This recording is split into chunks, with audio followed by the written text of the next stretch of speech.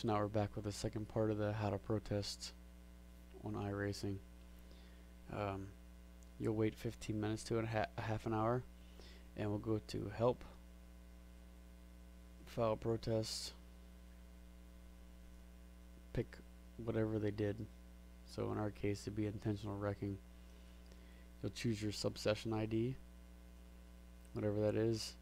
After you choose that, you'll pick a driver, who, whomever did it, and then uh, depending on where your documents folder is, in my case and most everyone's, on the main drive will be documents, iRacing, replay, and select the uh, replay excerpt that we saved, and then add this to the protest, and click submit.